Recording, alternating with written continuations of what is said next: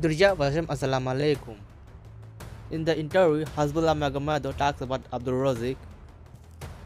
Now let's watch the video what he said. Ну, Абдурози, как вообще? Достойный соперник для тебя?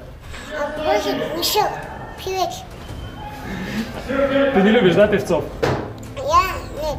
Нокаутируешь его в случае боя? Ним уже драться только не. А кто же тогда с соперник?